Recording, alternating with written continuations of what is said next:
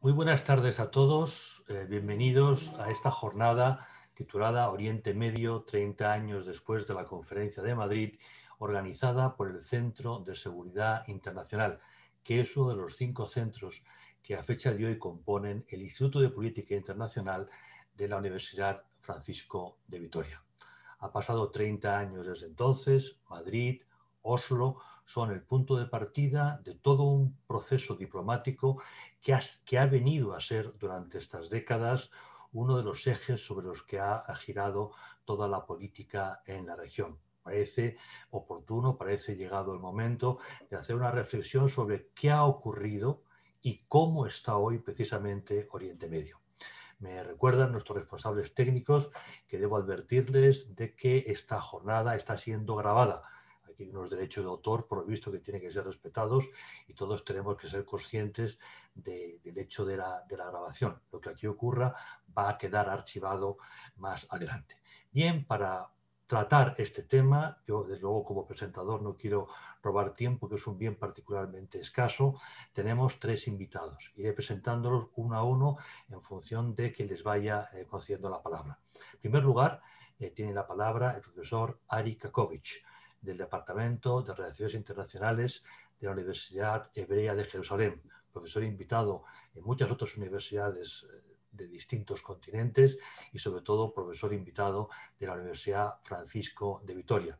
Eh, es además uno de los profesores del máster en Seguridad Internacional, máster perdón, en European Security, que arrancará, Dios mediante, el próximo mes de octubre. Profesor Kakovic, tiene usted la palabra. Buenas tardes desde Jerusalén.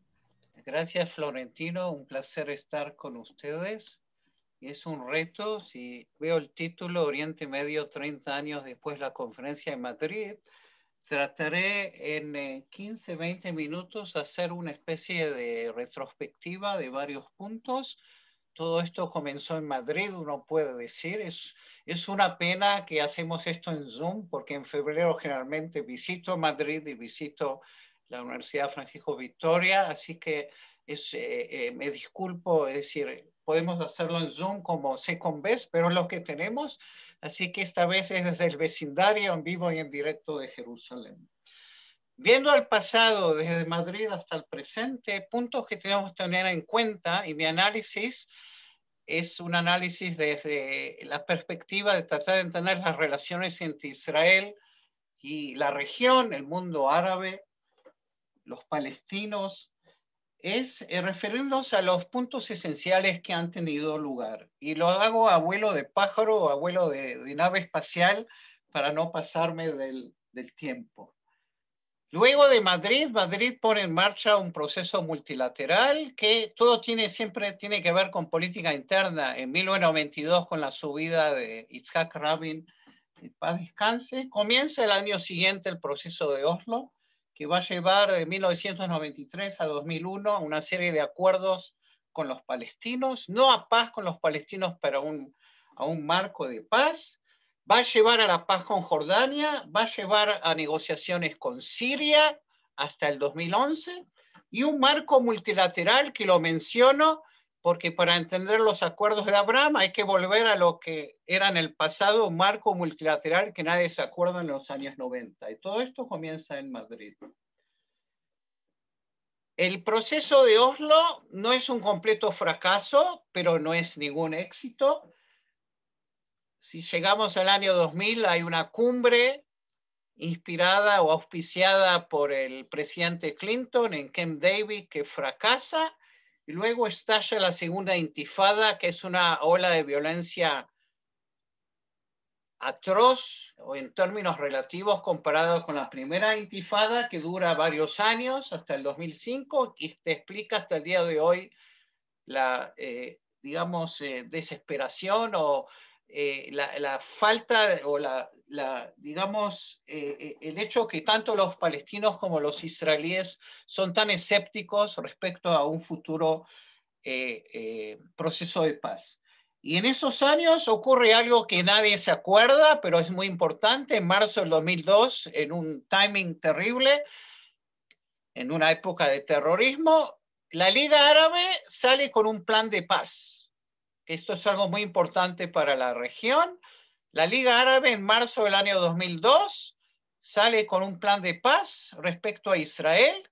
No es un plan sionista, obviamente, pero es lo contrario de lo que ocurre después del año 67, ofreciendo a Israel reconocimiento, negociaciones y paz, relaciones diplomáticas a cambio de una retirada total.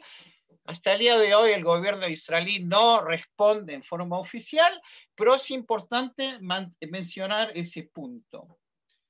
Y luego en la segunda parte de los años 2000, luego que la eh, segunda intifada se termina, se retoma un proceso de paz en los años 2007-2008, que es el proceso de Anápolis, que lleva a una negociación directa entre los palestinos que tampoco tiene éxito.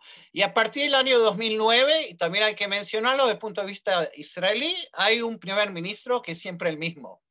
No sé qué ocurrirá de acá un mes, que es el señor Netanyahu, que de hecho uno puede decir que desde el 2015 hasta el día de hoy su intención es manejar el conflicto con los palestinos y no necesariamente resolverlo. Pero en una primera etapa, entre el 2009 y el 2015, sí hay intentos de negociar y resolver. Hay una mediación importante de Estados Unidos, 2013-2014, que no tiene éxito. Lo que ocurre en el vecindario, y es muy importante mencionar, obviamente, y supongo que eh, Andrés y Andy capaz que se referirán, es la primavera árabe en el año 2011, que comienza en, eh, en Túnez y sigue en Egipto y en Libia y en, Yemen y en Bahrein, que lamentablemente degenera, uno puede decir quizás en un invierno islámico, en guerras civiles, en, en Siria, en, en Yemen, y que de hecho entra la región en un remolino que de todos los países solo Tunisia sigue siendo una democracia o es una democracia precaria y en Egipto hay algo notable que hay elecciones democráticas, sube la hermandad musulmán, maneja muy mal el país y al año siguiente hay una, una contrarrevolución y desde el año 2013 hay, digamos, el presidente de Egipto es una especie de dictadura, electo presidente. Y eso es importante para tener en cuenta en el contexto, porque nuevamente en el último deceno, y eso supongo que Andrés, tú eres el experto, luego lo que ocurre en Irak, está la subida y la bajada de, de, ISIS, de, de ISIS, eh, que también tiene eh, implicaciones respecto a la postura de Israel hacia la región. Lo que quiero decir, eso nos va a llevar al presente, es que a partir en, la última década, y eso lo vemos muy claramente, con la subida de Irán en el, en vacuum que, hay en la región, se perfiló un, una alianza entre Israel y los países sunitas que de hecho uno puede decir en forma sarcástica que Israel es quizá el mejor defensor de los intereses sunitas en la región, salvo el caso de los palestinos. Una alianza, un interés común de seguridad, eh, confrontando a Irán por un lado, confrontando a Turquía por, por otro lado, y eso se va a ver muy claro cristalizado en septiembre del año, del año pasado con la firma de los acuerdos de Abraham. En los cuatro años de Trump, si mencionamos los cuatro años de Trump, que algunos de nosotros queremos olvidarnos, pero es parte de del legajo de la, de la región, la postura de Trump ha sido una postura conciliadora hacia el gobierno israelí, reconociendo a Jerusalén, presentando un plan que me acuerdo eh, eh, hablado de esto hace un año exactamente, el plan de Trump, que ya nos hemos olvidado y que de hecho aliena por un lado a los palestinos, por el otro lado acerca a Israel y Arabia Saudita. Y todos estos puntos que no lo dije en forma demasiado clara nos va a llevar al presente y respecto al presente, cuando trataremos de entender el Oriente Medio desde el punto de vista de Israel y la región, quiero mencionar algunos puntos en forma muy breve para dejar lugar a los otros interlocutores y a un diálogo.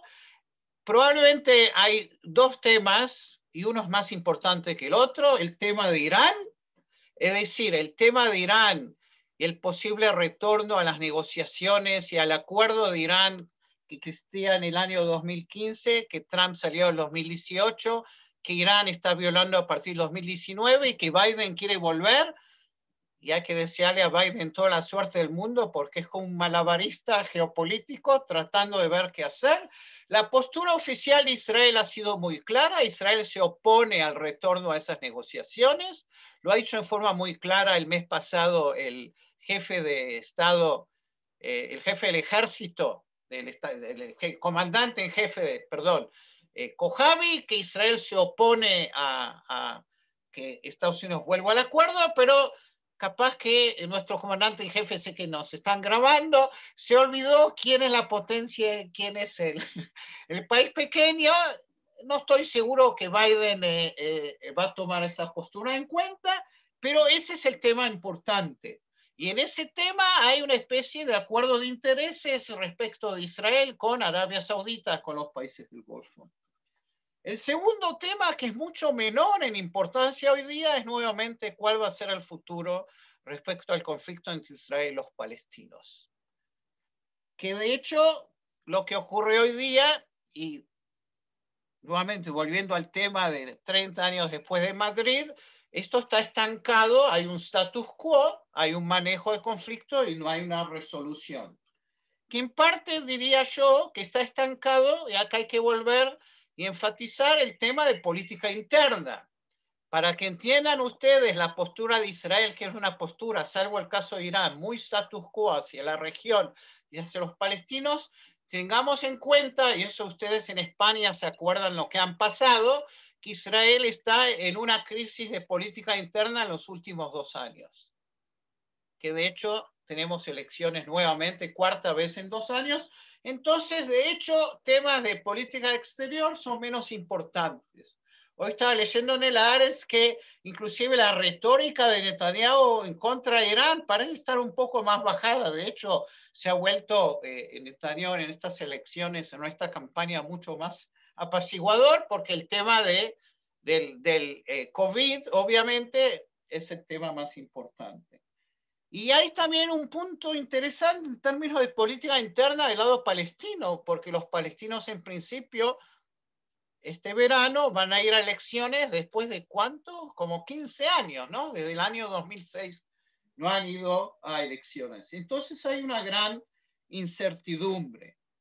De hecho, tercer punto y para terminar, para no pasarme de los eh, eh, eh, más o menos 15 minutos, a menos que Tino quieres darme unos minutos más, hay que tomar en cuenta que eh, las posibilidades de influencia de Israel en la región con una administración Biden es quizás diferente que con lo, las relaciones estrechas que existían entre Netanyahu y Trump.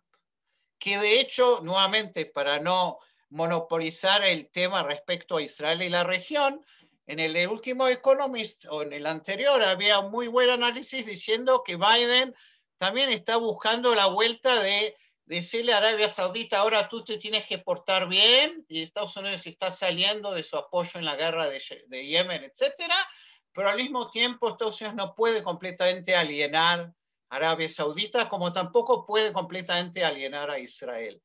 De hecho, va a hacer falta mucha capacidad de estrategia diplomática para Estados Unidos para buscar, como uno dice en lunfardo argentino, buscar la vuelta, ¿no? Es decir, buscar la forma de, por un lado, volver a Europa y volver al acuerdo, y por otro lado, no completamente alienar a Israel y eh, a sus aliados. Quizás el último punto para, eh, eh, que creo que es muy importante, si uno analiza estos 30 años, son las posibles implicaciones de estos acuerdos de Abraham, que obviamente en términos de política interna han sido exagerados en forma tremenda ¿no? Eh, por Netanyahu, ¿no? Eh, eh, diciendo, he traído cuatro acuerdos de paz. Él ahora está haciendo campaña que los árabes en Israel, los palestinos en Israel lo voten y demás, pero más allá del cinicismo que tenemos como eh, politólogos, digamos que esto sí tiene una importancia eh, eh, bastante, es muy relevante, primero porque hay dos países árabes nuevos que Israel está con relaciones diplomáticas y segundo porque se ha cambiado un poco el paradigma, volviendo al tema del plan de paz de la Liga Árabe que estipulaba que el reconocimiento y la paz con Israel está supeditada a la declaración del Estado palestino, eso ha cambiado.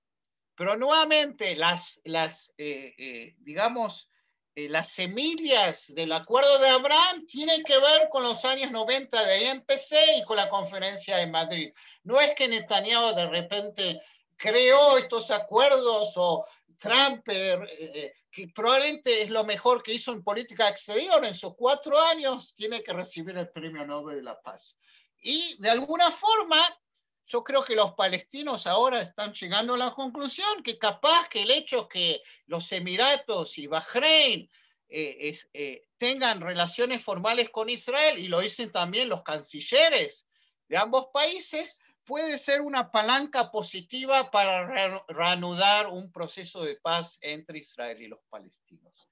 Ahora sí me callo, creo que fueron 16 minutos más o menos, de acuerdo a lo que podía hacer. 30 años en 15 minutos o por lo menos algunos puntos. Muchas gracias. Muchísimas gracias, Ari, por tus palabras y por tu formidable ejercicio de concesión. Eh, introducir en tan poco tiempo tantos temas y tan intensos y tan complejos tiene muchísimo mérito. Creo que vale el esfuerzo eh, que has hecho, porque luego tendremos tiempo en el turno de preguntas de las personas que están acompañando para poder, eh, digamos, explayarlos y desarrollar un poquito más estos temas. Bueno, mm, para no perder el tiempo, seguimos adelante. Tiene ahora la palabra nuestro compañero Andrés de Castro, profesor del Departamento de Relaciones Internacionales de la Universidad Nacional de Educación a Distancia y a su vez analista del Centro de Seguridad Internacional. Andrés, eh, bienvenido, muchísimas gracias por tu participación y creo que el tema del que quieres hablarnos es sobre Irán, un tema particularmente sencillo. Tuya es la palabra. Muchísimas gracias. En primer lugar, dar las gracias a la Universidad Francisco de Vitoria y al director del, del IPE, el profesor eh, Florentino Portero, que fue asimismo mi, mi, profesor y del que tengo grandísimos recuerdos de, de, sus clases. Y también, por supuesto, al director del Centro de Seguridad Internacional, a Ignacio Cosino por la, por la oportunidad. Bien, em, el tema de Irán es verdaderamente relevante. Como muchos de ustedes saben, tuve la oportunidad de vivir en, en el norte de Irak entre 2017 y el año pasado, donde he dirigido los departamentos de Ciencia Política y Relaciones Internacionales, así que es un tema que conozco más o menos bien. Eh, creo que es importante destacar eh, el origen histórico y la importancia del, imperio persa. Eh, tengo delante a un gran historiador como es Florentino Cordero y es, empezar a hablar de historia es muy complicado, pero bueno, teniendo en cuenta de que siempre han sido un actor muy relevante en la región. ¿Eh? y además ha sido un, actor muy relevante porque han tenido eh, una frontera que por supuesto ha ido moviéndose con, las distintas etapas de la historia, pero con turcos y árabes. ¿eh? Entonces, vecinos no particularmente fáciles y sencillos. Entonces, eso les ha mm, dado un carácter especial que, vemos en su devenir geopolítico todos los días. Entonces, eh, cuando nosotros analizamos el Irán de hoy, pues evidentemente todos esos rasgos históricos están presentes.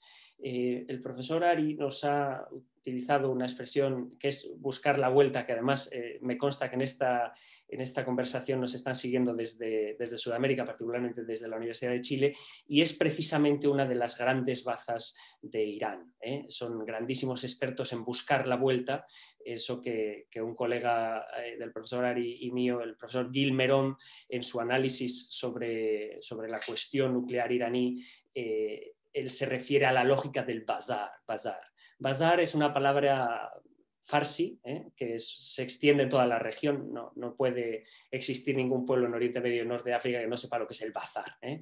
que es el, precisamente el mercado. Entonces, él aplica esta lógica del bazar a la cuestión eh, del programa nuclear. Yo les recomiendo la literatura. Bien.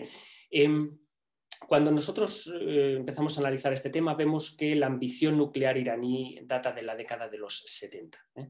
Y en particular el, gran análisis empieza eh, en el contexto de la llamada Revolución Islámica del Ayatollah Khomeini en el 79. Entonces, eh, dense ustedes cuenta de que eh, esa relación con el vecino del oeste, con, Irak, en la que no entraré porque tenemos un grandísimo experto sobre la, sobre la región, eh, sobre el país, pues empieza esa competición en la que distintos poderes en el seno de la Guerra Fría utilizan esos dos actores, Irán e Irak, para desgastarse mutuamente. ¿no? De hecho, eh, hay análisis que concluyen que hasta el año 2003 es precisamente eh, cuando dura esa aspiración en esa particular etapa iraní de hacerse con el arma nuclear. El año 2003, como saben, es el año de la, invasión de Irak. Entonces tiene muchísimo sentido porque también saben que entre el 80 y el 88 eh, Irán e Irak pues, tienen, tienen una guerra eh, que he mencionado. Bien, entonces, en el contexto posterior tenemos la presidencia de Ahmadinejad entre el 2005 y 2013, ya recordarán ustedes, porque además fue muy mediática en la que bueno, se producen amenazas al Estado de Israel, eh, que el objetivo es destruir al Estado de Israel, borrarlos del mapa, en fin. Bien. Em, el año 2013 eh, gana Hassan Rouhani eh, y entonces eh, se presupone que va a haber unas mejoras. ¿eh? si revisamos la, prensa en esos años, hace ocho años, vemos que Occidente tiene una visión muy positiva. Ah, este va a ser un, buen gobierno porque se va a poder hablar con Rouhani, que es diferente. Entonces se produce una especie de invitación a, poder tener una relación más, más fácil y coherente con, con Occidente. Bien como se imaginarán, es el contexto de la presidencia de Obama, entonces se produce en las primeras negociaciones para llegar, llevar a, cabo el Joint Comprehensive Plan of Action, eh, el acuerdo nuclear. Bien, eh, julio de 2015. ¿Quién interviene? Los cinco países del Consejo de Seguridad, los cinco miembros permanentes, más Alemania. ¿eh? Se le da ese estatus, obviamente, por su, por su capacidad económica y por el rol de la relación eh, bilateral y también en el seno de la Unión Europea. Bien. Em, ¿Qué ocurre? Eh, si analizamos las cifras, vemos, y uno de mis doctorandos, que también está presente en esta charla, y yo lo estamos analizando a nivel también económico, hemos visto que mejora mucho la economía iraní. No es sorprendente, ¿eh? porque evidentemente eh, se les permite la exportación de petróleo de una manera abierta. Ahora explicaré que siempre lo hacen, pero de una manera menos abierta, y cuando uno puede vender de manera abierta, pues vende más, ¿eh? con menos dificultades. Bien, entonces se exporta petróleo, aunque se mantienen algunas sanciones históricas. Bien, em, con la elección del presidente Trump, eh, Estados Unidos decide salir del acuerdo nuclear, lo cual le eh, presupone ciertas complicaciones a los países europeos que son parte del acuerdo. Eh, cuando los que hayan estado en Irán o hayan analizado verán que, por ejemplo, los vehículos eh, suelen ser eh, franceses. Hay una cantidad de, Peugeot que llama muchísimo la atención. Entonces, es decir, la, relación económica de Francia, Alemania y Reino Unido con Irán es importante. Entonces, salir del acuerdo también presupone que va a haber una serie de sanciones, que por cierto estos eh, tres países consideran la oportunidad de tener un mecanismo, eh, Instex, por el que eh, podían saltarse algunas de las restricciones que había impuesto Estados Unidos. Además, presionaron a Estados Unidos para poder seguir importando petróleo y se dieron unos permisos anuales, unos waivers sobre ese petróleo iraní. Irán, por supuesto, en esa expresión quizás poco académica de buscar la vuelta, pero que es muy ilustrativa, eh, lo que consiguió es crear toda una maraña eh, por la que se saltaba todo ese tipo de, restricciones. Eh, como digo, no quiero entrar en el, en el, tema iraquí, pero utilizó el dinar iraquí, que era una moneda que hasta hace muy poco tenía paridad con el dólar, para saltarse las restricciones y operar con dólares a través de operar con, con, el IQD, con el dinar iraquí. El tema petrolífero, lo mismo, como el petróleo, cuando uno ve el petróleo no sabe de dónde ha salido, sino que es igual de negro en, todas partes, pues también se hacía un juego de, eh, de vender petróleo y gas a través de territorio iraquí. Eh, pero como digo, esto complica la situación porque aunque permite a Irán vender de facto sus eh, recursos petrolíferos, lo, lo, complica. Bien. Em, el siguiente asunto importante es que en enero del año pasado Estados Unidos acabó con la vida del general Soleimani, que era el jefe de la fuerza Quds. Quds es eh, la palabra árabe para Jerusalén, eh, dentro del contexto de los Pasdarán, de los guardianes de la revolución. Eh, ustedes saben que, Irán tiene mm, bastantes cuerpos dentro de sus fuerzas armadas y además las fuerzas armadas regulares tiene una fuerza, podemos llamar, de élite, eh, ideologizada a través del Islam chi, en fin, eh, con ciertas características y, mejor financiadas que las demás. Y también em, en ese mismo ataque muere Mutandis, eh, que lidera el brazo armado de Irán en Irak a través de las milicias que se llaman Hashd al-Shabi, que en inglés se suele referir como Popular Mobilization Units, or Popular Mobilization Forces. ¿eh? Entonces, eh, bueno, eh, es un golpe de efecto que les reconozco que yo no esperaba. tampoco esperaba que me bombardearan el aeropuerto el día que llegué a Irak media hora antes, pero son esas cosas que, pasan. Y em, evidentemente puso a Estados Unidos y a Occidente en jaque, porque em, nadie esperaba una reacción tan inmediata. Irán siguió atacando los intereses occidentales en, Irak y a la vez eh, en esa estrategia siempre de multifactor de Irán, que es un actor que no tiene muchos recursos económicos, que tiene unas fuerzas armadas muy mal equipadas, que tiene unas fuerzas armadas eh, quizás no de las mejores formadas, pero que tiene una capacidad eh, de presión y de conocimiento tanto de Oriente como de Occidente eh, bastante, bastante buena. Y entonces presiona a través de dos cuestiones, los ataques a intereses occidentales en territorio iraquí y a la vez declara que está enriqueciendo uranio, declara hasta qué punto está enriqueciendo enriqueciendo uranio, y entonces espera una respuesta. En su audiencia interna, cuando no recibe ninguna respuesta, cuando hablo de respuesta, obviamente hablo de respuesta en criterios Oriente Medio, es decir, eh, un ataque, eh, eh, ve que puede seguir eh, con las dos vías. Entonces hemos visto una serie de ataques en el último año eh, a esos intereses occidentales, los últimos en esta última semana.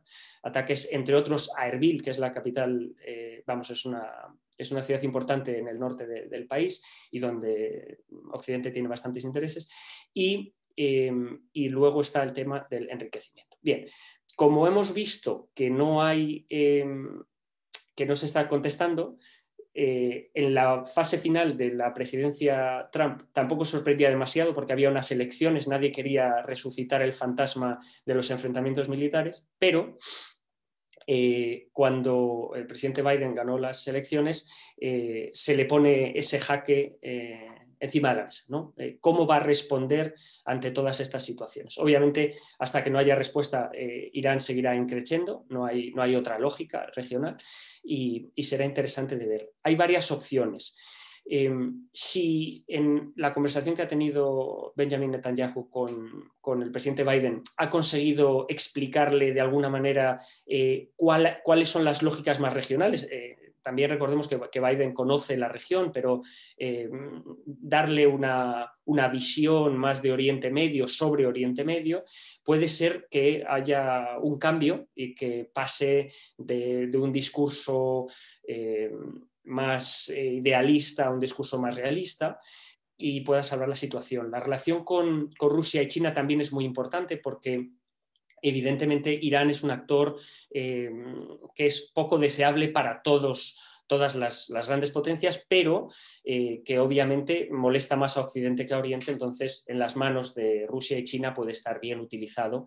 Entonces es posible que haya que ofrecer algo a la hora de poder lidiar con ello. Lo que está claro es que entrar en una negociación eh, de cualquier tipo eh, le va a dar una baza a Irán, porque evidentemente cuenta con la influencia sobre las audiencias occidentales de las democracias liberales, es decir, puede explicar cuál es su situación, de que eh, tiene una crisis económica que se ve todavía peor si nosotros continuamos con las sanciones. Em, entonces, eh, entrar en todo tipo de negociaciones, tanto en el acuerdo como diplomáticas, eh, le da una ventaja a Irán que está eh, mucho más habituado a buscar la vuelta. Bien, y además de eso, hay que entender cómo funciona Irán dentro de sus audiencias nacionales. Em, va a poder presentar a Occidente como un actor nada fiable se dan ustedes cuenta, lo primero nos ofrecen un acuerdo, después nosotros lo cumplimos, que probablemente no sea verdad, pero no tenemos la manera de demostrarlo. Nosotros lo cumplimos a rajatable, pero ellos se salen del acuerdo nuclear. Y fíjense ustedes, nos atacan, matan al gran general que venía de una familia humilde, que se había hecho a sí mismo y encima ahora quieren volver otra vez al acuerdo nuclear y entonces, ¿cómo nosotros vamos a, a poder volver a la mesa de negociaciones después de que nos hayan traicionado tantas veces y que todo el mundo sabe que el programa nuclear no, no tiene eh, una función armamentística, sino que se trata de hacer investigación nuclear y de llevar a Irán a un nivel de desarrollo científico-técnico de, la talla que se merece. Entonces, eh, yo creo que eso es muy, importante. Eh, entender eh, cómo se va a hacer ese tratamiento en sus propias audiencias, entender cómo van a tratar de manipular nuestras audiencias occidentales eh, para poder llegar a, un entendimiento de la situación. Y les voy a poner un último ejemplo. Em, y es que, claro, cuando nosotros analizamos responsabilidades o tratamos de demostrar cómo se está enriqueciendo uranio o no se está enriqueciendo uranio, entramos en un problema que es un problema occidental. Eh, los juristas occidentales eh, estudian eso de la presunción iuris tantum, iuris et de iure. Muy bien. Eh, yo no sé si ustedes recuerdan una escena de una película que, por cierto, era la favorita de un presidente de la región, que es El Padrino I, en la que mm, Vito reúne a todos los líderes mafiosos y les dice, vamos a hacer una cosa, vamos a llegar a un acuerdo. Ahora, si pasara cualquier cosa en mi familia, uno de mis hijos aparece colgado en una celda, eh, incluso si a alguien le cae un rayo, voy a responsabilizar a algunos de los que están en esta sala. Claro, en la lógica occidental eso es tremendo, ¿no? Porque si no hay atribución, ¿cómo puede alguien tomar eh, decisiones y consecuencias? Pero en la lógica regional solo tenemos que revisar la historia de los países de la región, es al contrario, son los demás los que tienen que demostrar que no han hecho algo. Porque si nosotros, en vez de decirle, sí, voy a investigar cuáles han sido las responsabilidades, decimos, la responsabilidad es tuya y ahora tienes que poner toda la diligencia necesaria en que a mí no me pase nada en la región, evidentemente el juego es otro. ¿eh?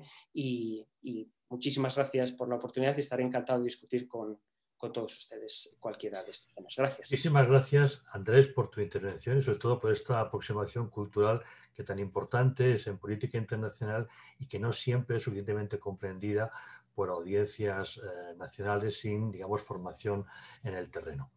Eh, para concluir esta primera fase de la jornada, doy ahora la palabra a Andrés Smith Serrano. Andrés Smith es un clásico de Naciones Unidas, creo que lleva toda la vida allí, yo lo conozco hace muchos años y no recuerdo qué hacía antes de entrar en Naciones Unidas, ha estado en varias misiones de asistencia, todas sin excepción han sido complicadas, porque es lo que le gusta. Eh, la última es Irak y sobre ella nos va a hablar. Aunque me parece obvio, conviene digamos, subrayarlo eh, por si acaso, eh, no va a intervenir como miembro de esa misión, no va a intervenir como funcionario de Naciones Unidas, sino como un especialista en el tema. Por lo tanto, va a hacer una aproximación académica y estrictamente personal. No está representando, desde luego, a Naciones Unidas. Andrés, tienes la palabra. Eh, buenas tardes, muchas gracias eh, Florentino y muchas gracias a la Universidad Francisco Victoria y al centro por invitarme. Eh, en tan ilustre compañía con los profesores Mitocayo Andrés y el señor eh, Ari. Eh, también me gustaría dar las gracias a Ignacio Cosidó como director del centro por organizar esta magnífica onomástica de 30 años.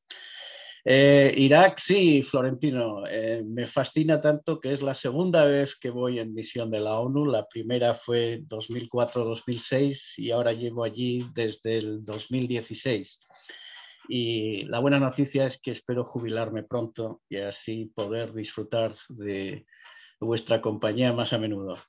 Eh, sin más eh, retraso, quisiera esbozar unos, porque mis compañeros ya han cubierto bastante el, panorama regional. Me gustaría esbozar solo unos puntos y enfocar luego quizá en las, en las preguntas para entrar en detalles.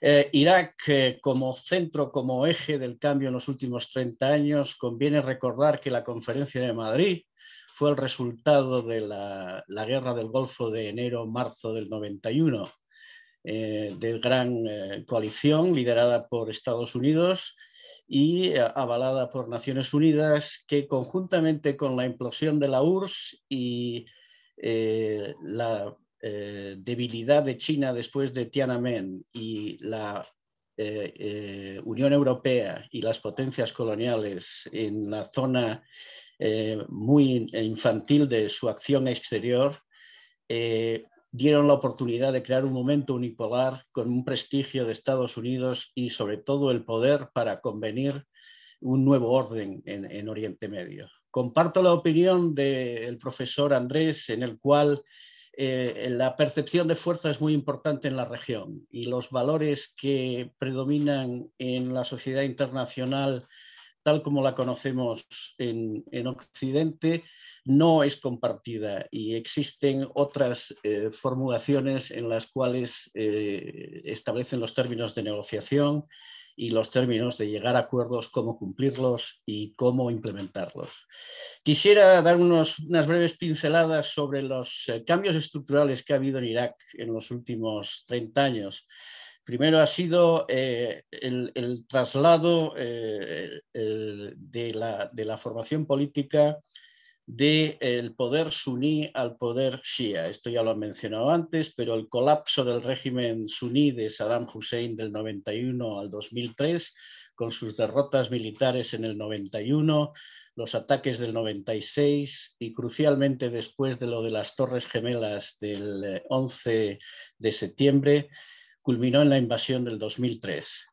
Eh, del 2003 al 2004, con, el protectorado, vamos a decir, americano, eh, y las elecciones y la constitución del 2006 completaron el traslado de poder radical por primera vez desde el mandato de 1920 de que Irak dejaba de ser dominada por los sunís y era dominada por los chiitas. El segundo gran eh, tema es la consolidación del poder eh, chiita y lo que se llama el establecimiento de la política envenenada. La constitución del 2006 ha sido un regalo envenenado que han aprovechado todos los primeros ministros, Alawi, Maliki, Abadi y Kadimi, eh, en las distintas fases para consolidar el poder que ellos consideran natural dentro de Irak, que es la dominación chiita. Diferentes fases eh, de la resistencia, que fue Fallujah 2004, si quieren podemos entrar en detalles, guerra civil a raíz de los eh, acontecimientos en Najaf y Karbala, y la insurgencia que marginó la participación suní al principio, pero que subrayó el dominio chiita total.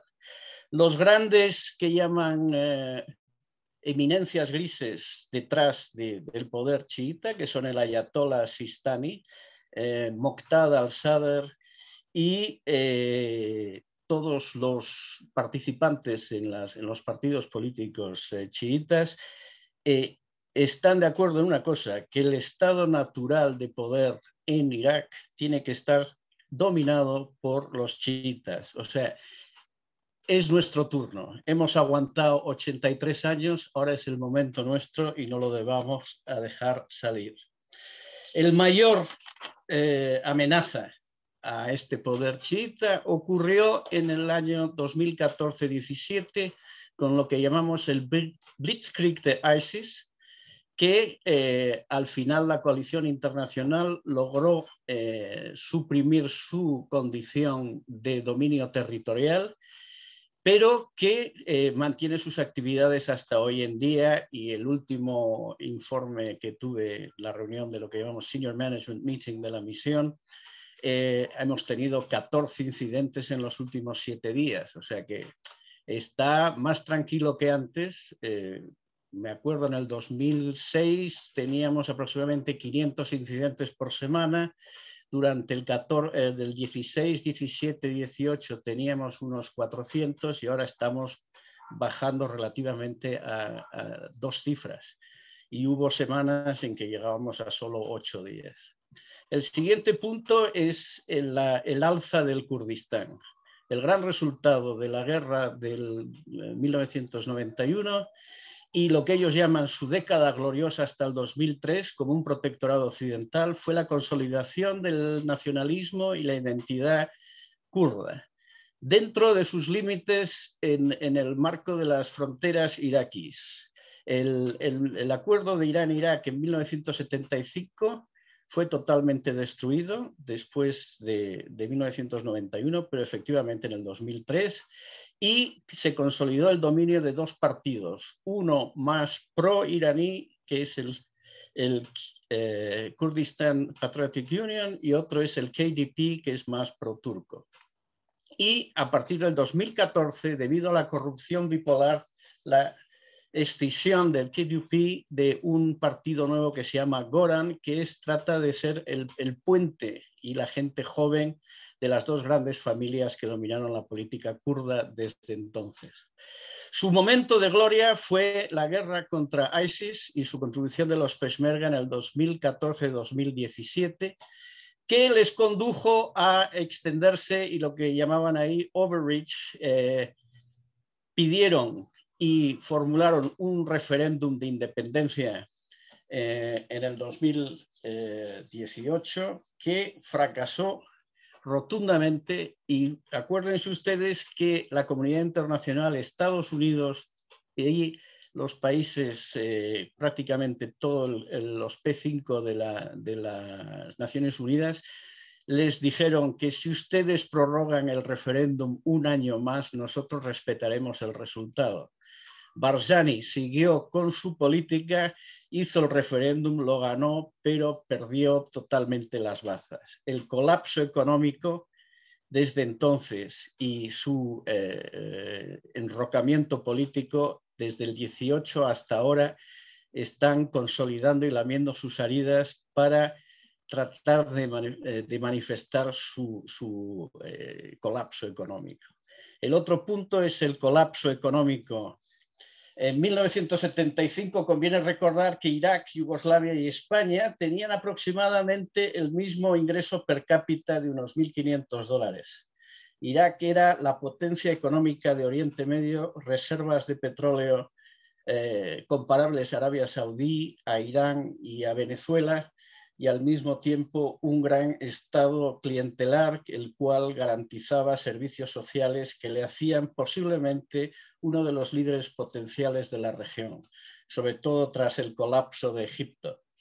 El impacto de las guerras de, Saddam Hussein, eh, ya mencionó Andrés la guerra contra Irán en 90-91, Kurdistán, eh, Basora, las revueltas, la invasión del 2003 y luego eh, el resultado del protectorado con las leyes de Bremer 1, 2 y 3, que resultó en el colapso político y económico que fue subrayado por la Constitución del 2006, con una división sectaria del país que favorece eh, la política de suma cero y consolida la ruptura de, de la situación política que deja muy difícil llegar a acuerdos entre las distintas partes el 98% de la dependencia de hidrocarburos, la corrupción y sistema de patronazgo clientelar y la frágil eh, eh, obtención de recursos, eh, agua, comida y materiales para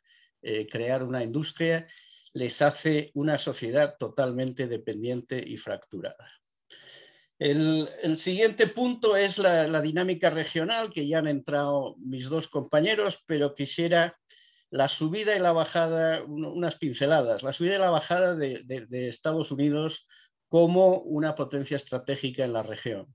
Ahora mismo la retirada estratégica de Estados Unidos de la región crea un vacío que se rellena normalmente por la gente que no deseamos que rellene esos vacíos eh, estratégicos, pero se rellenan de todas formas. El colapso y el surgimiento de Rusia, desde la URSS, que fue totalmente borrada del mapa, hasta eh, la reintervención, después de sus intervenciones en, en su extranjero cercano, 2012-21 en Siria y sobre todo su participación en eh, la zona petrolífera de Kirkuk y las zonas que llamamos disputed internal boundaries, eh, zona de, disputa de, fronteras interiores dentro de Irak. Y luego está la, la, penetración de China por osmosis con su estrategia de lo que se llama ruta de la seda. El punto muy importante que ya habló Andrés, pero conviene reiterarlo, es la consolidación de Irán como potencia regional sorprendente, pero es cierta. Eh, de un colapso eh, del régimen tras la guerra de 1980-88 a ser un hegemón en el 2017 tras el colapso eh, del ISIS cuando era un aliado convencional o un, acuerdo entre escorpiones que llamaban de Irán y la coalición internacional para derrotar a el, ISIL eh, predominante. El punto de inflexión fue la invasión del 2003, 2003 eh, el cual eh, se denominó por todos Game, Set and Match, utilizando una parrafada de tenis para Irán en su concepción chiita-sunita. Vis a vis a sus dos rivales regionales, no incluyo a Israel, eh, de eh, Arabia Saudí y Turquía, y sobre todo vis a vis a Estados Unidos y Occidente. Estas fases fueron de consolidación del 2003 al 14, sobre todo con el régimen de Al-Maliki, que fue claramente sectario, pero sin ningún complejo de eh, compartir poder, sino, como había dicho antes, es nuestro turno.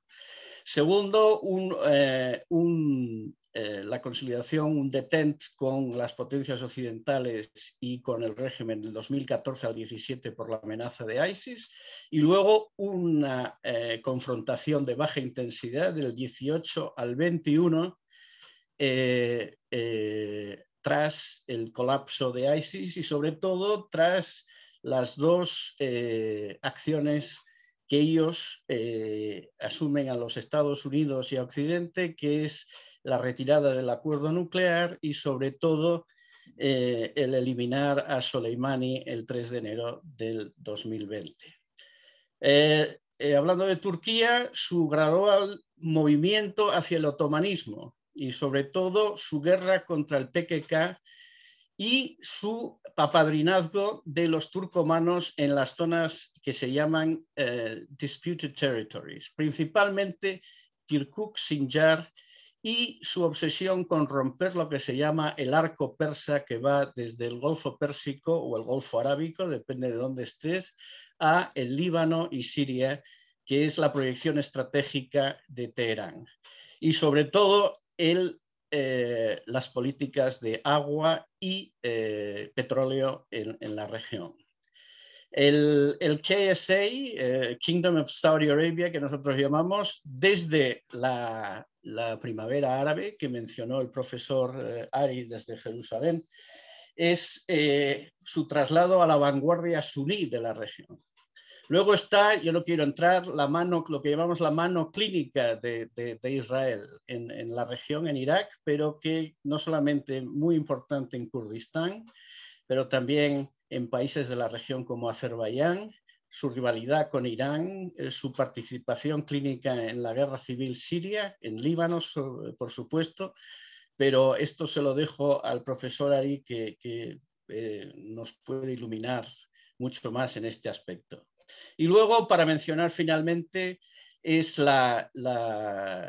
acto de desaparición de, la Unión Europea en la región. Eh, se ha convertido en un actor marginal, con la excepción a lo mejor de la artillería francesa y fuerzas especiales británicas, francesas y danesas como factores en la campaña contra ISIL. Eh, la Unión Europea es un actor humanitario y se vuelve a los países miembros que nosotros llamamos eh, principalmente Alemania, Francia, Gran Bretaña, en, su aspecto eh, como estados, estados miembros de las organizaciones y su participación directa.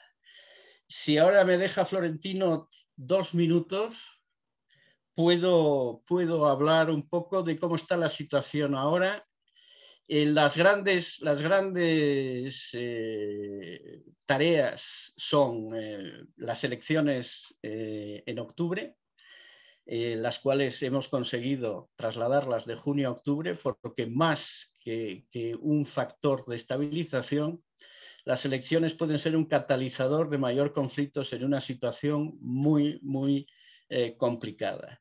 Eh, ahí tenemos parte de culpa la comunidad internacional, pues confundimos democracia con elecciones y eso no es entendido en la región como eh, un, factor que eh, produce más conflicto. Porque hay muchas cosas. El último censo fue en 1957, ha cambiado mucho, ha habido mucha limpieza étnica, mucha población que se ha movido. La participación es muy baja por la seguridad. Hay mucho eh, IDP desplazado y muchos refugiados.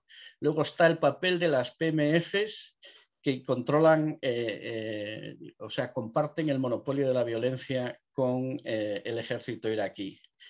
Y el quitar de medio a Soleimani y Muhandis ha dejado a las PMF en un debate de cómo ir más allá y cómo trasladar su poder militar a su poder político y económico y participación en eh, repartir la tarta de los beneficios. Eh, el señor Ari mencionó, el profesor Ari mencionó la, primavera árabe. La primavera árabe en, Irak empezó en el 2019, en octubre, y, y, afortunadamente el COVID ha limpiado las calles, pero volvieron en octubre del 20 y son los mismos mensajes que ha habido en toda la región, pero no se ha trasladado a la política salvo la pretensión de los sadristas de monopolizar ese descontento que les ha tenido un efecto boomerang. la, crisis económica es brutal. Eh, la única buena noticia ha sido el 40% de la subida del petróleo, que les da 13.000 millones eh, que quieren eh, extra de dinero, que quiere el COR, el Parlamento iraquí, trasladar al acuerdo con Erbil y por lo tanto aminorar. El Ministerio de Salud iraquí ha decidido que la pandemia del COVID es incontrolable y por lo tanto solo se va a utilizar dinero extra para eh, comprar vacunas, para vacunar porque eh, el 50% de los casos ya están con la variante británica y sudafricana, que es mucho más virulenta. Eh, la expansión turca, eh, estamos en estos momentos en medio de una operación que se llama Tiger Cloud 2, que va a empezar a finales de mes o a principios de marzo. El tiempo no les es favorable, pero se están desplegando tropas para esta operación alrededor de Sinjar con su objetivo es el PKK y localizar, el, controlar Sinjar. Eh, los ambos bandos están desplegándose, la división quinta iraquí está tomando en las colinas y también las PMFs están moviéndose en esa dirección.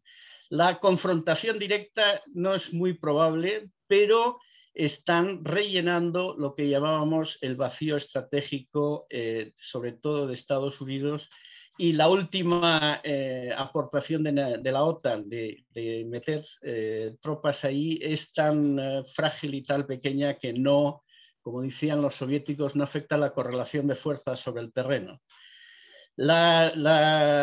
el tema del acuerdo nuclear ya lo ha cubierto Andrés y por lo tanto esperamos a las preguntas, pero un factor cultural que me gustaría añadir para reforzar es el factor religioso, de que el complejo de inferioridad, sobre todo de, Irán, con respecto a la autoridad religiosa de su régimen, eh, viene de que el, foro, el Vaticano de los, de chiitas está en Karbala y Najaf.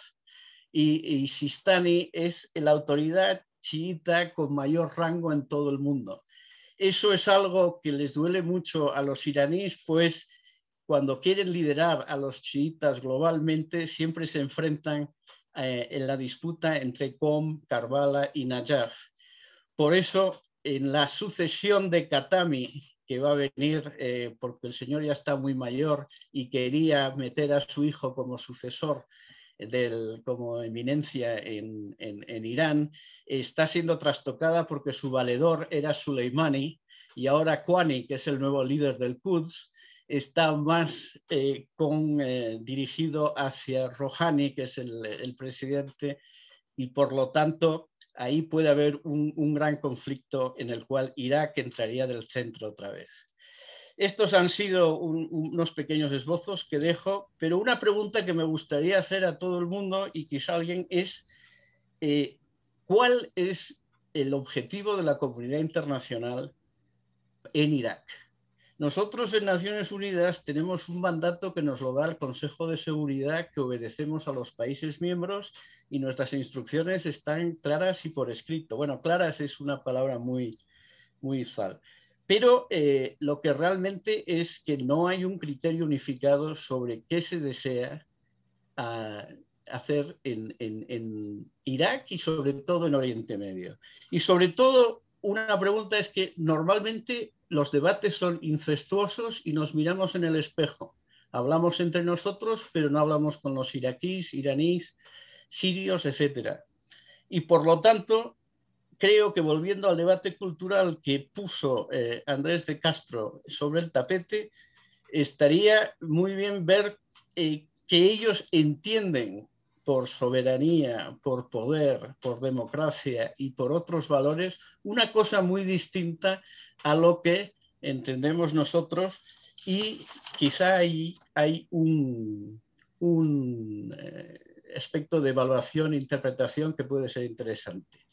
Quisiera pedir disculpas por haberme extendido quizá dos o tres minutos más y muchas gracias a Florentino por su tolerancia y su paciencia eh, oriental en este caso. Y muchas, gracias a todos. Muchas gracias Andrés por tu interesantísima intervención. Entramos en la segunda parte de esta jornada. Es un momento en que la gente puede preguntar o responder a la pregunta que acaba de dejar Andrés eh, sobre la mesa. Para el control de esta segunda parte, eh, cedo los trastos a mi compañero y querido amigo Ignacio Cosido. Ignacio, tuya es la palabra.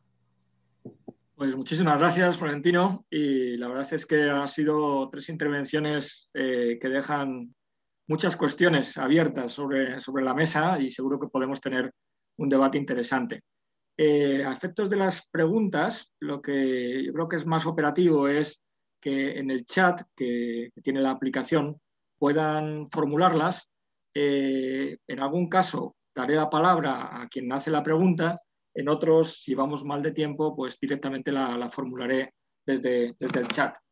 Eh, en ese sentido, la verdad es que tengo ahí me han surgido algunas cuestiones. ¿no? Creo que Andrés eh, de Castro en su intervención no ha terminado de hacer una eh, perspectiva eh, más comprometida ¿no? sobre cuál va a ser el futuro del acuerdo nuclear, si lo tendremos, si no lo tendremos, el papel de Estados Unidos o, no. de la intervención del profesor Ari me quedaba un poco el, gran interés que ha despertado en España el acuerdo con Marruecos, que, ha sido un acuerdo que tiene también implicaciones en nuestras relaciones bilaterales. Y, de Andrés Serrano, pues eh, yo creo que su intervención pues deja clara la, enorme complejidad del juego, del tablero, con el cúmulo de actores y esa indefinición de, la comunidad internacional sobre cuál debe ser eh, el objetivo final. ¿no? Eh, está bien eso, Andrés, que las preguntas en vez de que te las hagan a ti, las, formulas tú a la audiencia, que es una cuestión muy, muy inteligente. Eh, tengo una pregunta, ya tengo dos preguntas, pero voy a dar en primer lugar la palabra a la profesora María, María Dolores Algora, que es también analista del Centro de Seguridad Internacional, aunque la ha formulado por escrito, pero si ella quiere activar el micrófono y la quiere hacer en, persona, pues, eh, pues tendrá la oportunidad de hacerlo. Así que, María Dolores, si nos estás escuchando y quieres hacer tu pregunta. Bueno, muchas, muchas gracias. Buenas tardes a todos y gracias por, por, la oportunidad de esta sesión y de darme la palabra, Ignacio. Bueno, yo, eh, se han hablado unos temas, pues creo que son muy claves para la región, eh, los, los, tres aspectos que se han tocado, pero me gustaría hacer, ya que se cumple un poco el 30 aniversario de lo que fueron los acuerdos de Madrid, la conferencia de paz de Madrid, lo que supuso los acuerdos de Oslo, un poco mm, incidir en, esta, en este tema de manera más concreta al profesor Ari me, eh, me gustaría preguntarle, claro que, bueno, hacer una, una primera afirmación, luego una pregunta, como habías planteado. Creo que con la administración Trump realmente se cruzaron muchas líneas rojas que rompieron las bases fundamentales de lo que había sido los acuerdos de Oslo, por lo menos en mi opinión.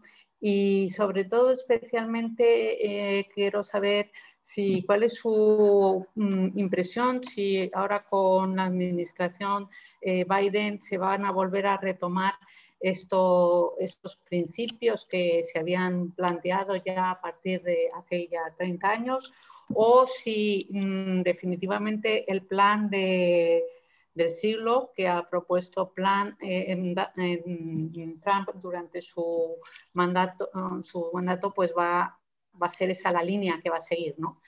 Y en ese sentido, pues también dos cosas concretas, muy concretas, ¿no? Que mm, cómo se ve desde la perspectiva israelí o cómo se puede pensar, bueno, o regional, también Israel-Palestina.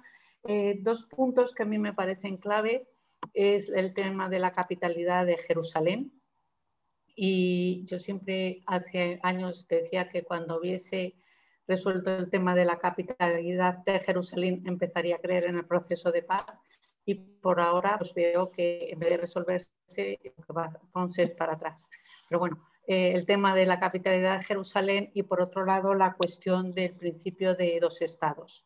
Si pudiera, creo que son claves en ese proceso, si pudiera hacer un poco incidencia en esto y sin extenderme ya mucho más, porque todas las intervenciones me han creado preguntas que dejaré a los demás que se expresen. Pero también una cuestión a, eh, Andrés Smith, que ya que conoce la región desde dentro, mm, ha dicho, pues, eh, en mi opinión, claro, y eh, una forma muy objetiva y claro, el alzamiento del tema de la identidad del Kurdistán, que es un tema como historiadora conozco histórico de hace mucho tiempo, y, pero simplemente siempre me ha quedado una duda y me gustaría saber su opinión, porque yo no creo que sea así, pero me gustaría constatarlo con él, eh, si realmente existe en la región una auténtica voluntad de crear alguna vez un Kurdistán unido, o eso es una entelequia que realmente en las diferentes partes que afectarían a ese Kurdistán,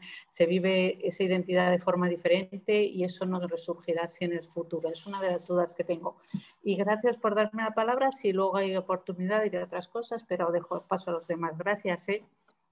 Pues nada, María muchas gracias a ti. Casi lo que vamos a hacer es, como has planteado varias cuestiones que afectan a varios de los ponentes, Vamos a volver a dar la palabra a los tres ponentes eh, para que cada uno responda a la parte que le pueda, eh, que le pueda haber afectado, aunque quizás Andrés de Castro en este caso no, haya una pregunta tan directa, pero por si él quiere añadir algo a lo que también ha dicho eh, Andrés Serrano. Hay una parte de Kurdistán que afecta a Irán, o sea que a lo mejor también... Sí, sí, sí, no, le damos la palabra también. Pero en primer lugar al profesor Kakowicz.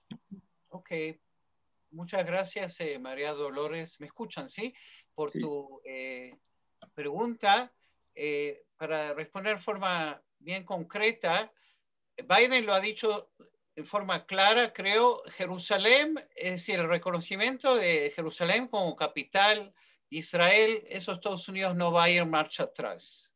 Porque de hecho, es decir, no vamos a entrar en el tema porque podemos hablar de esto horas, nuevamente, es muy claro que Jerusalén es la capital de Israel. Desde el punto de vista de, Biden, obviamente va a tomar una actitud mucho más tradicional de lo que era Trump.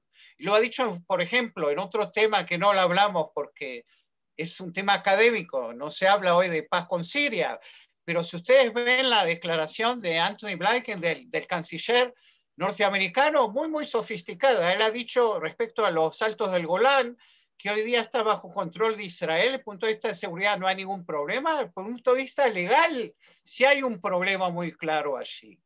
Ahora, la actitud de la administración de Biden, lo ha visto ya, va a ser primero normalizar de alguna forma las relaciones con los palestinos, que la administración anterior Trump los, ha completamente alienado, ¿no? Es decir, eh, Biden ya, ya, va a abrir de nuevamente el consulado en Jerusalén para los palestinos, va, supongo va a abrir nuevamente la, la representación de, de, de, la OLP de Palestina en, en, Washington, etcétera, y de hecho ya hay un efecto positivo de Biden, inclusive con su elección, que Israel y los palestinos han vuelto a hablar o de cierta forma retomar la cooperación en términos de seguridad.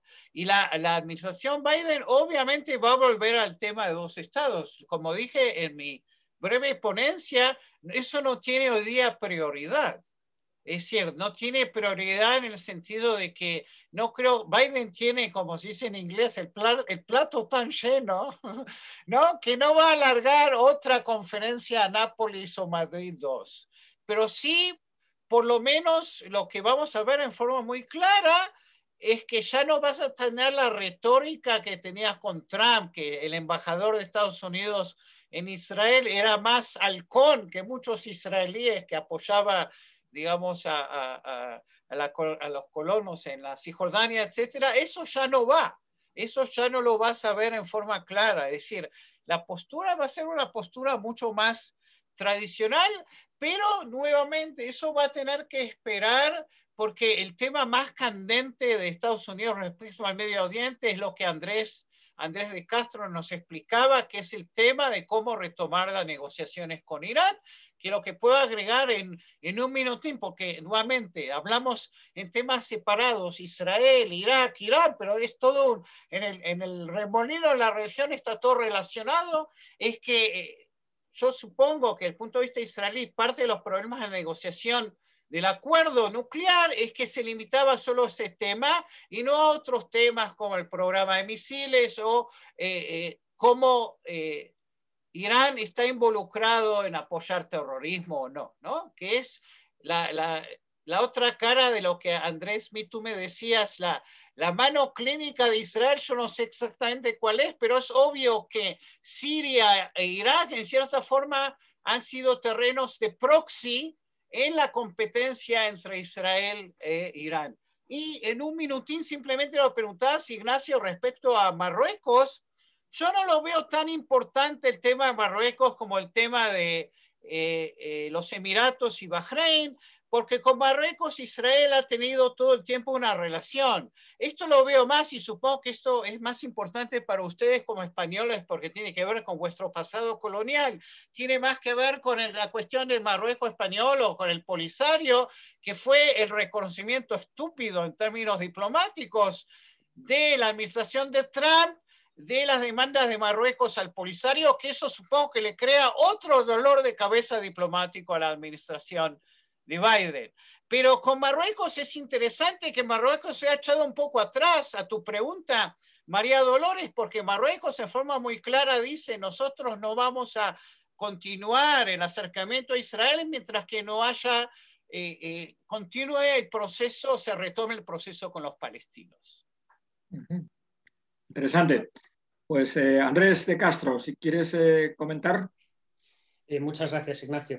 Eh, bien, eh, sobre el tema de la prospectiva, en primer lugar, eh, respondiendo a, a, tu pregunta, eh, yo creo que, que, me has hecho la pregunta porque sabes que ese espíritu salmantino mío de ser pesimista, en el fondo, es, es, es, es, de destacar. Bien, yo soy muy pesimista sobre el futuro de Occidente en Oriente Medio y soy muy pesimista sobre las decisiones que vaya a tomar el presidente Biden en la región.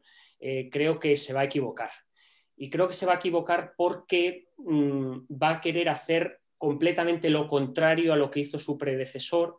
yo no creo que él esté demasiado cómodo con la decisión, pero tiene votantes a los que tiene que, ganar, es decir, él tiene que responder a sus votantes.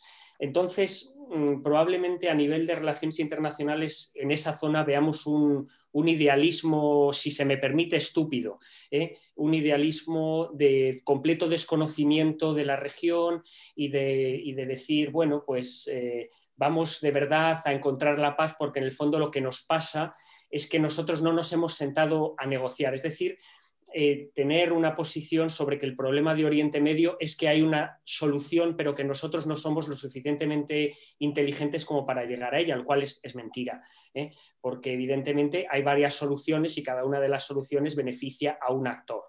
Eh, yo creo que Occidente debería tomar una solución que beneficie a Occidente, pero parece que el nivel de la discusión está muchísimo más complejizado.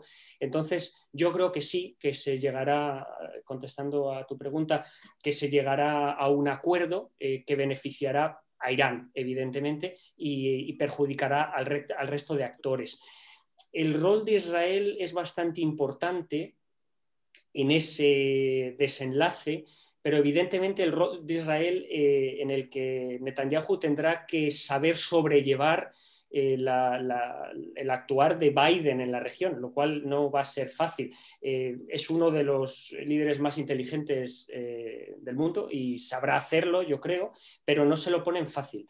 Entonces, el desenlace malo, muy negativo, un acuerdo nuclear, Irán nos puenteará, además de que conseguirá financiación tanto para él como para su colonia iraquí a través del Fondo Monetario Internacional, Banco Mundial, Estados Unidos, eh, todas las instituciones, conseguirá eh, cumplir sus, objetivos. Entonces, eh, muy, muy negro el, futuro. Y si me lo permites también, Ignacio, para contestar, que yo creo que está bastante relacionada la pregunta que nos ha hecho Andrés Smith sobre el objetivo de la comunidad internacional, yo creo que esa pregunta, que además está conectada con la que tú me hiciste, se contesta sola. La leo. ¿Cuál es el objetivo de la comunidad internacional en Irak? La propia pregunta nos dice que no existe una comunidad internacional. Eh, porque si hubiera una comunidad internacional tendría unos intereses que estarían claros, porque existe, ¿no? Pero al no existir no hay un objetivo sobre Irak. Estados Unidos eh, tampoco tiene un objetivo sobre Irak, aparte de lo que eh, John Mersheimer llama la hegemonía liberal. ¿Eh? Lo que hemos visto en las últimas eh, décadas es que Estados Unidos, desde que gana la Guerra Fría, cree que la mejor manera de que haya paz y estabilidad y seguridad en el mundo es que todo el mundo sea una democracia liberal. Entonces, ¿qué mejor manera que promover guerras en el mundo para cambiar los sistemas y convertirlos en democracias liberales? Porque, según esa lógica eh, muy cuestionable, cuando nos relacionamos entre democracias liberales no hay conflicto, cuando hay democracias liberales no hay terrorismo y cuando hay democracias liberales se permite que yo mantenga mi propio sistema de democracia liberal. Entonces, claro, cuando nosotros vemos los objetivos sobre Irak, vemos que Irán tiene un objetivo que es colonizar Irak. Ya casi lo ha conseguido. Enhorabuena para ellos. Eh, el objetivo de Occidente, pues que haya elecciones y que gane la mayoría. Le hemos regalado, como decían mis compañeros, en un plato eh, a Irak por la mayoría chií, es decir, que enhorabuena, el enemigo tradicional de Occidente que había luchado incluso en la etapa de la presidencia de Saddam, le hemos regalado Irak, qué bien y eh, cada uno de los actores con sus propios intereses. Rusia y China, eh, por supuesto, energético y de control de la región, pero sin involucrarse militarmente, que es otro de los grandes errores de Occidente, además de que le lleva a un objetivo que no es factible, que es la democracia liberal en Oriente Medio, con la excepción, por supuesto, de Israel. Eh, pues entonces llevo recursos, pongo muertos encima de la mesa en en un objetivo que llevamos 18 años desde la invasión de Irak sin ver. Entonces, que la comunidad internacional no existe y por lo tanto no puede tener un, objetivo común, ya que no existe. ¿eh? Eh, siento ser tan pesimista y tan realista, pero ya les digo, me, he tenido muchos años para quedarme calvo y vivir en la región y eso, bueno, pues ha cambiado eh, la forma de, leer el mundo. Y gracias de verdad por la oportunidad. muchas gracias a ti, Andrés, quedamos con esa visión, eh, no sé si pesimista o realista en todo caso, de, la, situación. Eh, yo creo que Andrés Smith puede contestarse su propia pregunta, ¿no, Andy? Tienes que poner el micrófono, Andrés, que no se te oye. Sí, sí, aprovecho, Andrés, para comentar que tenemos que cortar a las 7 y 25 porque la universidad nos corta la conexión. Entonces te mm. pido mucha brevedad para que pueda ver. Muy, muy brevemente, muy brevemente. A mi tocayo Andrés, muchas gracias. Eh, quiero recordar que, que, un gran amigo mío iraquí me dijo que un pesimista es un realista bien informado. Entonces, eh, aprecio mucho. La contestación a la profesora eh, creo que se está refiriendo al Kurdistán unido, es al Kurdistán turco, eh, sirio, iraní, iraquí en su conjunto. Creo que es lo que está diciendo, me estaba explicando. A eso me refiero. Sí, entonces le quisiera decir que la historia de los kurdos ha sido muy dura con ellos y, han aprendido duras lecciones. Entonces, por ejemplo, eh, ya, sobre todo a, finales del último referéndum, pero ya desde 1991 y desde el 2003 es un planteamiento muy realista. Han renunciado, por ejemplo, a la capitalidad del Kurdistán iraquí, que sea Kirkuk, y han aceptado Erbil, que era como si España hace la capital en, Aranjuez, por ejemplo. Eh, y también eh, han eh, establecido con los países limítrofes su objetivo totalmente de una incorporación o una posible ahora autonomía dentro de un Irak eh, más federal con eh, revisar con acuerdos de Erbil y Bagdad eh, los acuerdos de una semisoberanía para el Kurdistán dentro de las fronteras del Irak que están reconocidas internacionalmente. El sueño permanece y como objetivo de, de una, vamos, eh, final que sería ideal para todos, pero para ellos sería la reunificación de todos, un poco como Somalia, que quiere el Ogaden, Djibouti, el norte de Kenia y Somaliland y Somalia. Pues es un poco la misma, la mismo patronazgo, pero son bastante con los pies en la tierra y eh, también eh, limitan sus objetivos a, objetivos razonables, sobre todo tras el varapalo del fracaso de los últimos dos años. Y para eh, subrayar una cosa que ha dicho Andrés, eh, cuando el objetivo de la inter... ¿cuál es el objetivo de la comunidad, de la negociación con Irán? Eh, pues ahí está yo creo que la clave de la cuestión y es lo que llamamos el elefante en la habitación. Estamos hablando de cambio de régimen, estamos hablando de no proliferación nuclear regional, estamos hablando de un régimen eh, de negociación y un marco para restablecer los marcos tradicionales de una sociedad internacional en una región. Eso no está muy claro y esta ambigüedad quizás sea favorable para eh, proseguir de que todo el mundo esté incluido en este proceso pero al mismo tiempo crea unas expectativas falsas y lamentablemente no, no, no estoy de acuerdo con, con, el diagnóstico de mi tocayo Andrés en que no augura muy buenos precedentes, salvo que se traslade el problema crucial a, a, una futura administración americana o a la siguiente generación de líderes eh, de la región y globales.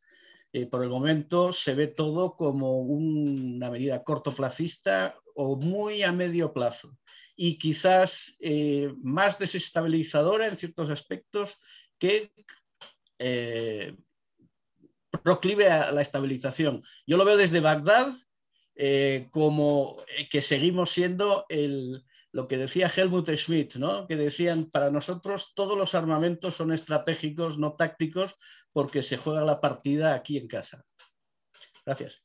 Muy bien. Eh, a ver, eh, hay una pregunta de eh, Pablo García sobre el asesinato de Mosé Fajidzadev. Perdóname la pronunciación, Andrés, pero vamos a hacerle una pregunta que hace también Pablo para el profesor Kakovic. le gustaría saludarle porque además le conoció en la Universidad Hebrea eh, y dice eh, un plan suspendido por los acuerdos Abraham temporalmente, ¿qué esperar con Biden y quizás con un Netanyahu reforzado en las urnas próximamente? Entonces damos primero la palabra al profesor Ari y después, si quieres, Andrés, comentar un poco el asesinato del líder, del, director del programa nuclear. ¿no? Y yo añado una cosa nada más al profesor Ari y es él restaba un poco importancia a la declaración del jefe de las Fuerzas Armadas israelíes eh, en relación con, el acuerdo nuclear, ¿no? Pero eh, esa declaración, que coincido con él, que tiene un impacto político eh, limitado, pero puede significar que Israel se esté planteando algún tipo de medida unilateral si ese acuerdo va adelante en contra de, la voluntad del gobierno y de, las Fuerzas Armadas de Israel? Tú estás preguntando, tú estás preguntando si Israel tiene una opción militar. Sí. no, esa es la pregunta. Es decir, probablemente planes hay, más allá de lo que vimos en la serie si le llegó Teherán, ¿no? Es decir, pero al fin y al cabo eh, eh, es muy limitado. Israel no va a ir a una opción militar sin el beneplácito de Estados Unidos o lo que puede hacer Israel, de alguna forma, uno puede decir antes del 2015, que ya eso Andrés lo sabe probablemente mejor que yo, que es parte del bargaining, ¿no? Parte del bargaining, Israel amenaza con una eh, postura eh, militar para que Estados Unidos en las negociaciones tome en cuenta otros temas, eh, porque el acuerdo era lejos de ser perfecto, pero creo, no sé, creo que Andrés o alguien mencionó eh, la genialidad política de Netanyahu en diplomacia. En ese sentido, yo soy mucho más eh, eh, escéptico al respecto, porque hoy día, y esto lo sabemos todo, Irán está mucho más cerca de, de, llegar a, a, la bomba nuclear que estaba durante el acuerdo. Es decir, hay, hay una lógica de negociación que esto, cuando fue? Eh, la, eh, la, Agencia de Energía Atómica de las Naciones Unidas llegó a un acuerdo parcial con Irán, ¿verdad? Es decir, de, de que siguen y demás para dar tiempo a Biden a negociar.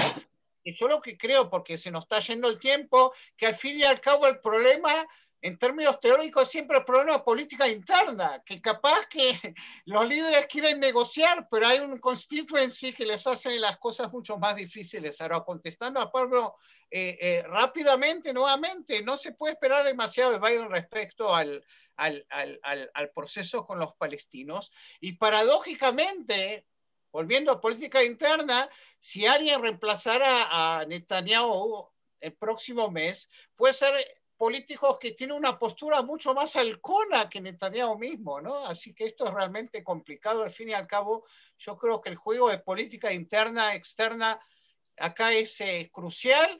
Y lo único que un poco estoy en desacuerdo con Andrés, eh, que ha presentado quizás una visión liberal de, de, de Biden, que yo creo que no, no es tan ingenuo como parece. Y Andrés Smith, tú corrígeme, creo que Biden tiene un montón de kilometraje que ha estado en la región y está involucrado en el tema de Iraquí, mucho más que Obama, ¿no? Eh, por eso es que yo creo que les debemos dar a Biden un crédito, que hay una lógica realista muy clara de tratar de volver al acuerdo porque es el second best, ¿no? Es decir, eh, ¿cuál es la otra opción? Eh, ¿Bombardear Irán? Gracias. Un placer. nada, muchas gracias. Eh, yo creo que nos hemos consumido prácticamente el tiempo. La verdad es que se nos ha hecho verdaderamente corto. Y, yo creo que es este un debate sobre Oriente Medio, 30 años después de la conferencia de Madrid, eh, que demuestra dos cosas. ¿no? Primero, que muchos de los problemas y de las cuestiones que estaban presentes en aquella conferencia siguen estando encima de la mesa, siguen presentes 30 años después.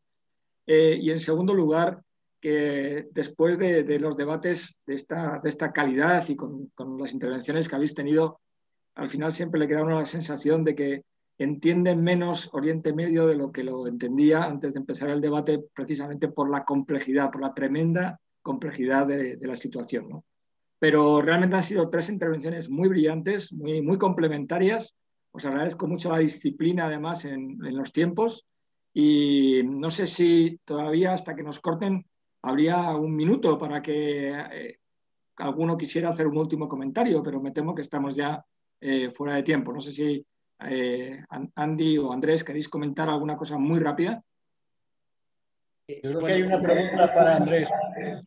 muy rápidamente, yo veo una lucha entre gigantes, ¿eh? es decir, que, yo digo que Netanyahu es inteligente y los iraníes también, o sea, que no es que eh, ese también es, importante. Y de Biden también he dicho que, él tiene sus convicciones, conoce la región, pero también tiene unos votantes que le van a llevar por donde le van a llevar. Es decir, entiendo, entiendo ese argumento, pero vamos, fantástico. Y sobre lo del asesinato, un tema clave.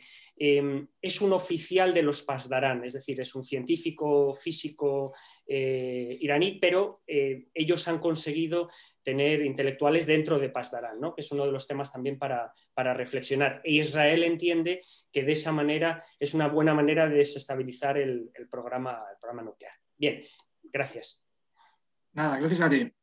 Muy bien, pues si os parece, eh, cortamos aquí el, debate, pero dejando claro que esta será una línea de investigación prioritaria para el Centro de Seguridad Internacional, porque creo que es uno de los asuntos estratégicos eh, más relevante que hay, aunque ahora todos estemos hablando mucho de China, estemos hablando del Pacífico, pero Oriente Medio está ahí, eh, hay intereses de seguridad vitales también para Occidente y ese vacío estratégico al que se refería eh, Andrés Smith creo que no, no es nada positivo y en nuestra muy modesta contribución estaremos pues, muy encima y muy pendientes con, con investigadores, con analistas de la calidad de la que hoy nos han acompañado. Muchísimas gracias a todos. Muchas gracias. Gracias. Shukran. Afwan ah, Habibi.